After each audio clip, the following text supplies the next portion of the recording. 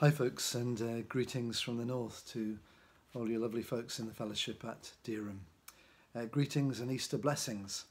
Um, I was um, uh, reading this morning from Celtic Daily Prayer, the uh, morning office, and uh, we have in our household a, a prayer basket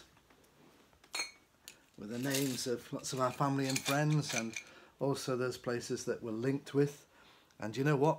Out of the prayer pot this morning came uh, my cousin Evelyn and her husband Clive from Top Farm, Marsham, uh, Lena and George, their Lithuanian and Hungarian friends of ours in Glasgow, and Dereham Baptist Church. So, in praying for you this morning, I thought this would be a good time to, to share with you and do my little contribution to your thoughts for the day. Um, Shirley and I are well. Uh, we are essentially isolated here in our cloister here in Northallerton, North Yorkshire. We should have been over in Ireland celebrating Easter with our community and this week having holiday with our family. And I guess like many of you, you're now separated from family and friends because of what we're experiencing. I've been furloughed by the Northumbria community that I work for a couple of days a week and uh, so I have no excuse not to get on with writing for which I'd value your prayers. In one sense, this is not a time for many words, I think few words, uh, because this is a somber and troubled time. Gosh, journeying through Holy Week last week, um, never did the kind of journey from the kind of adulation and celebration and crowds of Palm Sunday turn into the, the pain and the agony, the darkness, the isolation of the Garden of Gethsemane and the just suffering of Good Friday and the bewilderment and abandonment and the waiting of Easter Saturday Eve. And I think we identify more with wondering and praying and lamenting than we do perhaps with celebrating. I know too many people who've contracted COVID 19 and uh, know of a couple of people who have died as a consequence. I was speaking to a London pastor, Baptist pastor last week, who'd conducted four funerals in the last 10 days, three of them virtually online. But two of those funerals were for London bus drivers, both under 45 years of age. The world is at war with this pandemic, and I believe that we are seeing the dawning of a new era, a new world era. There will be no return to normality as we've known it which of course has huge opportunities as well as many challenges. So I just want to share with you what, you know, what does faith and the message of Easter Sunday have to say to us?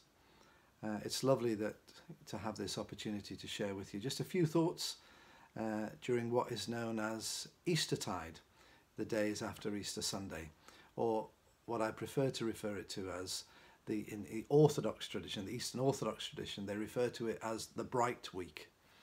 So, let me share with you on this bright week a, a, reading from John's Gospel, chapter 20, verse 19 through to 23. That Sunday evening, the disciples were meeting behind locked doors because they were afraid of the authorities. Suddenly, Jesus was standing there among them, and he said, Peace be with you. As he spoke, he showed them the wounds in his hands and his side. They were filled with joy when they saw the Lord. And again he said, Peace be with you. For as the Father has sent me, so I am sending you. And then he breathed upon them and said, Receive the Holy Spirit. I, um, for those of you who follow me on Facebook, I returned to Facebook. I've been off it for Lent, but I returned to it yesterday and I wrote these words, and they seem relevant to share with you the fellowship at Dereham.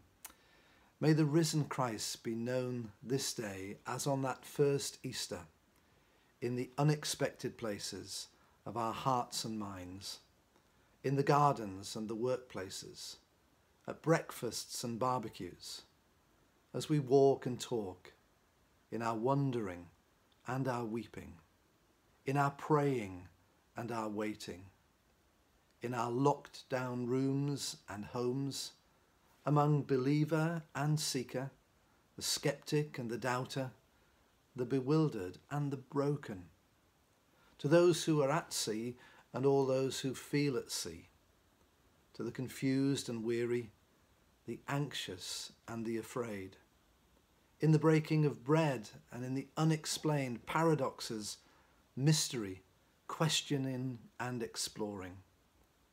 Risen Christ, break through the walls of all that keeps us from encountering and recognizing you. Speak your peace and breathe upon us, Lord, that we may breathe your peace into a troubled world. May the Lord bless you and take care and keep you safe. May you continue to love God and love your neighbour wherever they are, be they near or far. And the peace of all peace be with us all. Bless you.